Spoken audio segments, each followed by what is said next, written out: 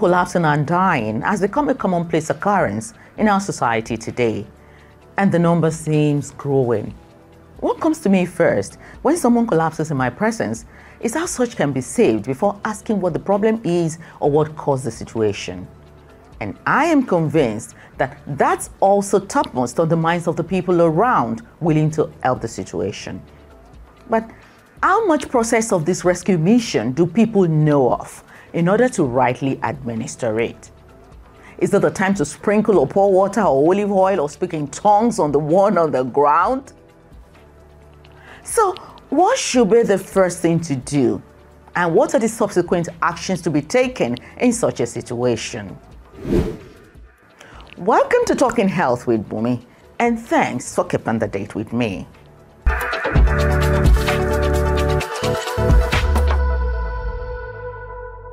To enlighten us on this critical subject is Dr. Femi Ogunremi, the MD CEO at Monitor Healthcare Limited. He will take us through what we need to do when faced with such a situation that is talking about cardiopulmonary resuscitation, known as CPR. So let me quickly introduce Dr. Ogunremi to you. He's a multiple award winning medical doctor turned medpreneur this trailblazer is combining his passion for healthcare with entrepreneurial spirit to revolutionize the way healthcare is administered, managed, and experienced. Having practiced in the UK and Europe as a general practitioner, Dr. Ogunremi is now back in Nigeria as a medical educator, an advocate of resuscitation skills, and a quality improvement of care given in hospitals, and the good management of the hospitals can be entrenched. Thanks, Doctor, for allowing us into your space. Now, today we're here to talk about it's, it gives me concern. Every now and then you hear one Nigeria slum today, one people perceive to be very healthy. That means it can happen to anybody. So, in order for people to be well aware and educated about this, I decided why not do something extensive about you know this issue. So, I want to start by saying why exactly do people slum, you know, unexpectedly? Yeah. So, uh, slumping has become a huge problem in our society lately. There are a lot of reasons. Uh, I think common things I can talk about are, you know, most times they are health related. The, the, the, an average Nigerian don't usually bother about, you know, health check.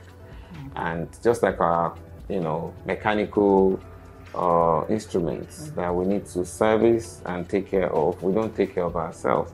So we do stuff and we do it repeatedly. Um, despite the fact that things might be wrong in our body, we don't check it. So uh, the last result is for the brain to be starved of oxygen. And when there's this, you know, starvation of oxygen in the brain, somebody will feel, you know, uh, dizzy and they can slump. So people can slump and uh, that can lead to, you know, obviously collapses and things that has to be done about it. And this has been happening in the country mm. uh, incessantly. And I've seen a lot of cases in the past few, you know, a few months, maybe the next past one year now, there have been a lot of cases of people slumping and people dying from collapses like this. So, to, to summarize it, it could be health related issue, especially if something happened to the heart, not pumping blood effectively. If there's something happened to the lungs, not pump, I mean, not getting enough oxygen to the to the body, and that can be diseases or other things. Okay. I also know, doctor, that many a times some people slump, but they don't die. Yeah. There's something they call, I've heard it over time, and as an adult, it's here with us. They call it CPR. You doctors know mm. better. What exactly, tell my viewers, what exactly is CPR and why is it so important in saving lives? Okay, CPR is an acronym for cardiopulmonary resuscitation. As I said earlier on, there could be problem with the lung and there could be problem with the heart mm. that can lead to somebody you know, to collapse. Mm. And so what, what CPR, which is cardio, means something to do with the heart. Hmm. Pulmonary, anytime we hear that means something to do with the lungs. Resuscitation means, you know, jump starting these organs. see, like so, the car. Like the car, okay. exactly. So when somebody slump or collapse, then you could jumpstart them to be you know, to come back to life. Uh, on the average, your, the brain will survive about five minutes without oxygen. Um, if we don't do something within that time, people die, you know, and they can't come back. In fact, uh, CPR is being, it's very, very important for the whole, for everyone, you know, to know about it because research has shown that if we can resuscitate people within one to two minutes of collapses, if we all know how to do these resuscitation skills, then about 60, more than 60% of the people who are dead today will be alive. It's quite staggering. Uh, and that's in Europe. If you then look at Nigeria, where we have other things going on other than the general, you know, non-communicable diseases, we still have communicable diseases that we're battling. That's right. Um, as a road traffic accident and trauma is still there killing our people, then you can realize, you can do the math, the number of people that probably are dead now that should have been alive if we all know these things. So it is an important thing for us to Okay, so I want to ask at this stage, um, is it anybody that can perform CPR or does it require special training? you know cpr requires to be we need to be trained. If you know what's going on uh, in nigeria today the kind of cpr that we do to our people is quite you know frightening. We don't do much. We even in the hospital i don't think we do much. We don't support people at all but anyone could do basic life support hmm. which is the cpr in quote so what that means is you're mechanically keeping this person alive until they get to a place where they can get permanent help. So you pump their chest Okay. and then you give them, you know, if it's appropriate, you give them some, you know, what they call the kiss of life, hmm. mouth to mouth. And then you continue on at certain rate that I'll probably discuss later. If you continue to do this, you're just mechanically keeping this person alive without any equipment. That is basic life support. And that is uh, what anyone can do as long as you have some energy to push down on the chest.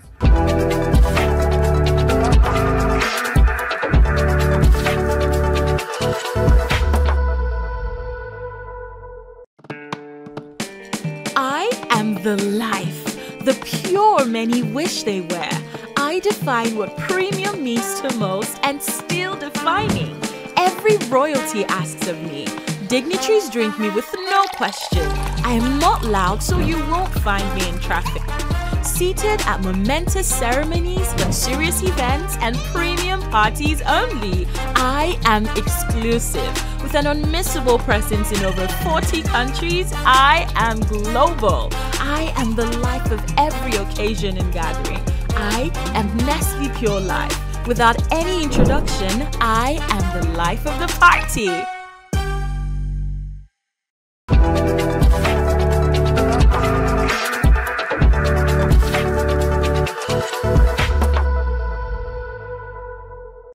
Effective is this in an emergency situation? For instance, I don't know anything about CPR.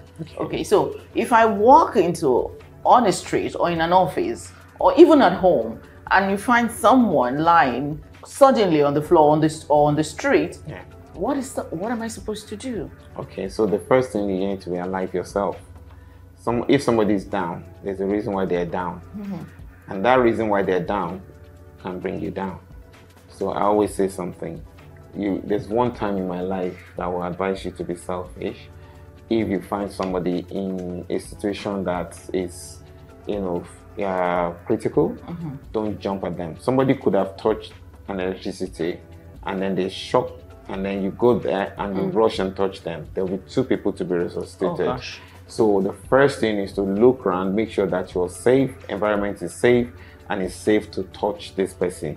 So once you touch them, you then need to do the necessary thing to check whether they actually collapsed. First mm-hmm. thing is to talk to them, you mm-hmm. call them, mm-hmm. then you have to tap them, and then you check whether they're breathing. I'll, I'll show you how to do this Okay, instead. great. So you check whether they're able to, uh, whether they're breathing, and if they're not breathing and there's evidence of collapses, then you have to do something now, and that's what CPR will bring. Okay, now, doctor, I've seen a lot of situations where, whether in movies or in reality, someone just slumps and you see people gathering around, pouring water, putting olive oil.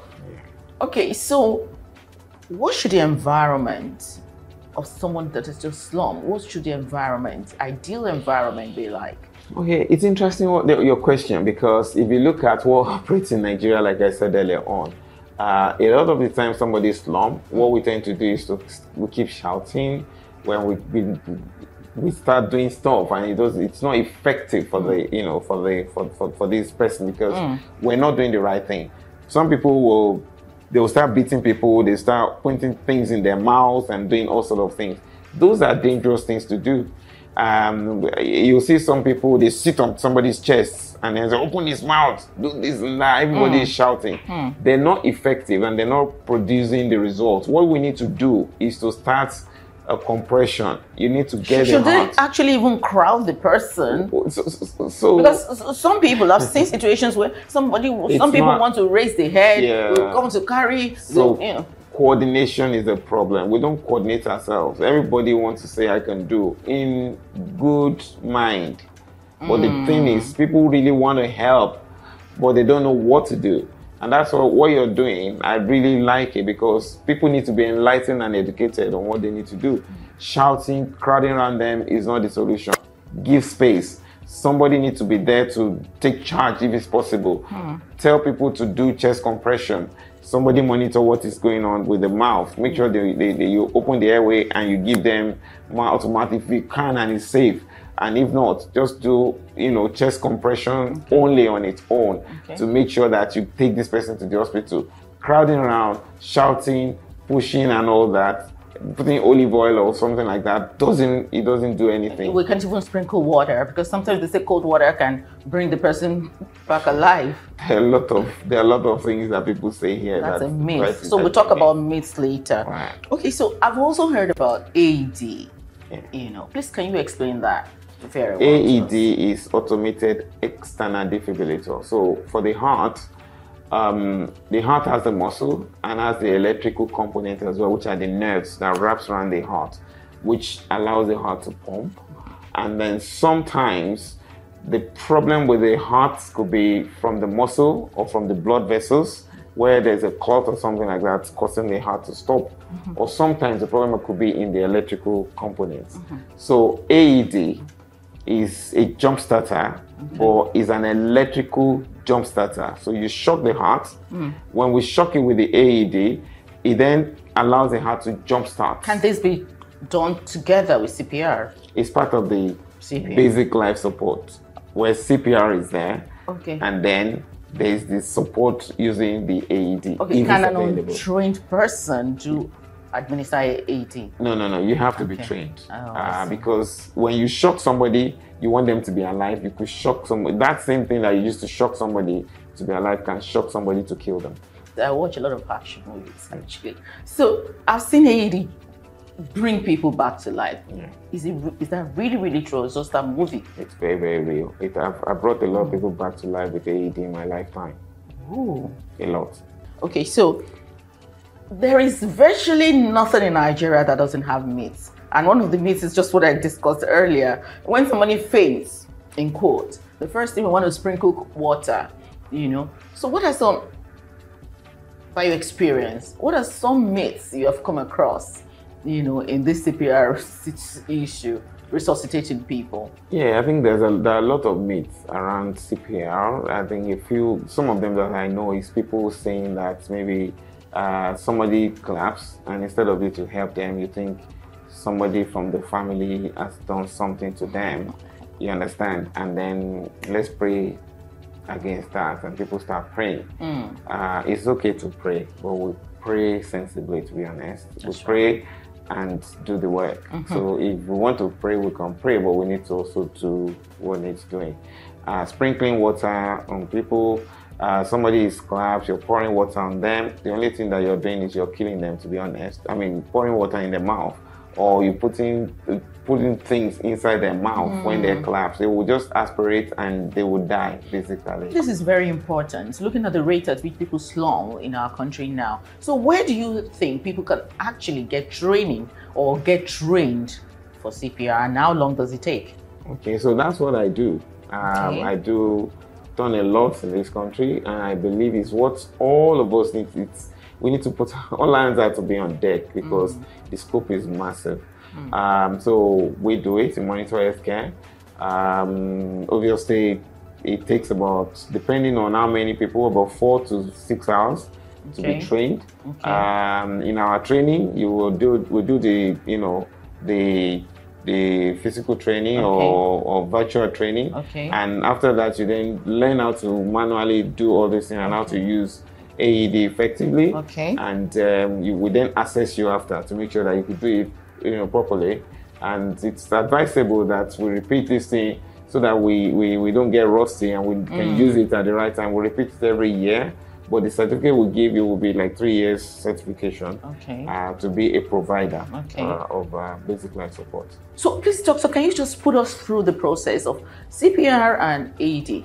Okay, that's fine. So, uh, just like I said earlier on, if somebody claps, the first thing is you want to make sure that the environment is safe. So, you look around. If there's anything that is, you know, uh, dangerous, you have to deal with. For example, this person might have, you know, uh, fallen, banged their head. They might have slipped and banged their head. They might have uh, touched an electricity and electrocuted. So you need to be sure, be safe first. So once you're safe, then you approach them and talk talk to them. So we have two ears. You call them, hello, can you hear me? Hello, can you hear me? So the two things can happen. They can tell you, oh, oh, oh, oh, oh, oh, and they slip off again. If that happens, just like you said earlier on, it means that they're they're breathing. So you put them in recovery position.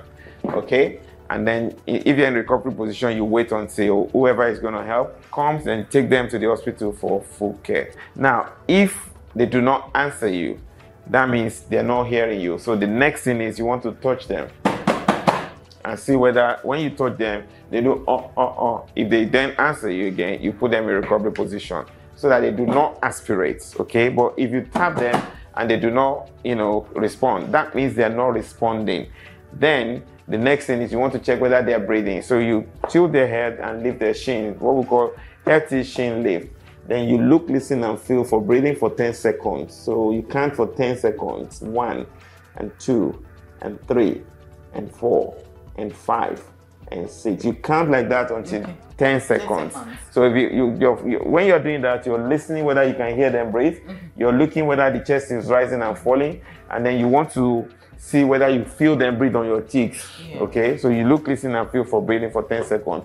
So if they're not breathing, I would always advise you never resuscitate somebody on your own. You need to call someone at this stage. So you shout out, call for help, ask somebody to to come and call more people to come to you. And they, when they are coming, they should bring AED. Okay. So once you've done that, if the AED is available, once you've done that, then you come back to this person and then you need to start chest compression.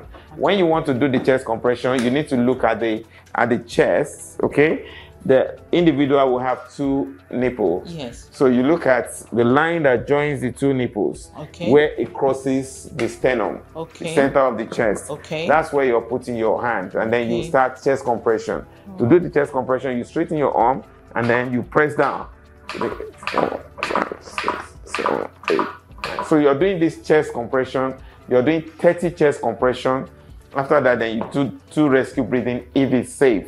Talking about the rescue breathing, you don't know the status of this person if you don't know them. Right. So you might not want to put your mouth directly in their mouth. If you have things like pocket mask or face shield, you can do. So pocket mask looks like this.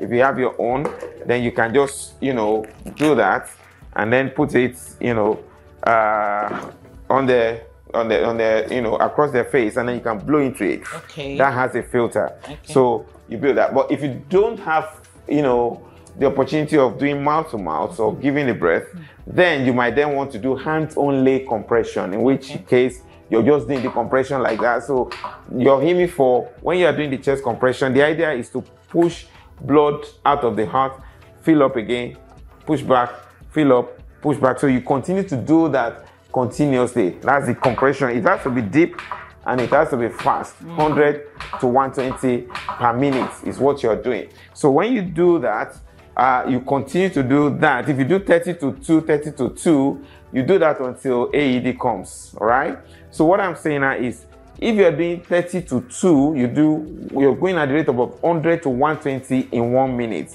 in that rate but you break it you know, down to 30. Then you go to rescue breathing, 30. So let's say you've done 30. One, two, three, four, 30. Okay. Two rescue breathing. Okay. 31, 32, 33, 34, 90. Two rescue, I mean 62, 90 rescue breathing. 61, I mean 61, 62, 63, 90. Two rescue, rescue breathing. You continue, then by the time you're doing 120, you assume that will be about an uh, one minute. I see. So in a minute, you're doing 100 to 120. I see. Or in between, you are doing 30, 30, two rescue breathing after each 30. you see. understand? Okay. When AED arrives, AED is something that looks like this. Whoever brings it because you're you're busy doing your chest compression, you ask them to help you put it on. So they switch it on. So this is a robot. Patient is a It will continue to give you information. okay. So if it's a child, you press child button. Remove clothing from the patient's So you chest. remove clothing from the patient chest. Remove packet and apply pads. This is the packet. It's well signed. Okay. What you need to do. Okay. In fact, let's do let's use this one. So it, it is well signed. Then you just put that. So you remove the you remove the part and look at this one goes Okay. here, just below the you know the the the left side just underneath the um, nipple there. Okay. and then this one goes up here Around the heart. just just above the you know below this the clavicle Okay. and then you already switch it on so let's use this one so you put it on and then you're hearing whatever is telling you there so so when he says he's analyzing heart rhythm you don't touch the patient this is electricity hmm. it's going to discharge electricity to this thing so do not touch the patient so if he tells you shock advice before you press the button here you have to it will charge when it's charging you stay clear. Don't touch the patient, right? Nobody should touch this person. No metal, no water. So when he says you should press the orange button, don't ever press this orange button until you are sure there's nobody is, that is touching this person. So you look from head to toe. Nobody is touching. When nobody is touching, you are safe. Everybody is safe. Then you press it. It will deliver shock immediately. You go back on the chest. So you start, just follow you follow that. That's going at the rate that you're expected to go. That's about 100 to 120 per mm. minute. So you just follow from there until if the person comes around or you're tired or you feel that there's a lot of things that tells you that this person is not going to make it or you decide among yourself and then you can stop it that way. Terrific. Please give us a final advice on this show today. Um, what do you think people should do when they come in contact or when they suddenly come across someone who suddenly slumps? What, the final advice for everybody to know what to do in that emergency situation. So this is where actually it touches me to be honest. It's something that is quite emotional for me because I feel we're not doing a lot here and a lot of people are dying for no reason. So we need to look at the you know survivor chain. Okay. Uh, how if I ask an individual, what's the chance of you surviving if you collapse wherever you find yourself? Your house, at work, on the road, what's the chance of you surviving? You understand? And if we can answer that question honestly, you know that we're not doing anything in this country. So I'd always advise people to learn how to do it. If, if most of us are able to resuscitate people without any instruments, a lot of people won't be dying. I guess people are just afraid that if I approach and and in the uh, in the situation where I'm administering and the person dies, then they will charge me. I'll be driven. I'll be dragged to police station. I think we need to do the if you learn to do and you do right. If if you, let's say if you do a training, you'll be confident on what to do, and then you know that you whatever you have done. How expensive is this training? Uh, it depends on how we're coming in terms of numbers, but it's averagely about thirty-eight thousand naira. Okay. Um, but there are times if you're close to us, um, people that follow us often, we give free or we discount sometimes, or we just do that as our own COS. And then I want to talk to the government, and I want to talk to our health profession as well. Okay, for individuals, we all need to find a way of, you know, uh, developing a, a, a chain of survivor around us. So um, we need to learn to do this skill. Skill. We've, it has been proven to be effective. Even if patient or staff collapse, that we have actually resuscitated and they survive. And so if you learn to do these things, then chances of survival is higher. Now for the government, um, after we've done whatever we've done in the community and we take the patient to the hospital, it's the doctor, the nurses, people in the hospital that also need to do their own bit, which is the advanced level. And this is where the government needs to help to either find a way of getting our doctors to be equipped or our healthcare professionals to be equipped and then to, you know, uh, be able to support people in cases of collapses uh, for survival and improve quality of life. I believe you now know better that should someone slump in your presence, please do not pour water. Because by doing so, you may be sending them farther away from life. Also, check the surrounding to ensure that the fall was not as a result of electrocution. And never ever you jerk the person back to life with the use of automated external defibrillator near water, simply because water is believed to be a conductor for electricity. You got that right? Okay. This is how far we can go on today's edition of Talking Health.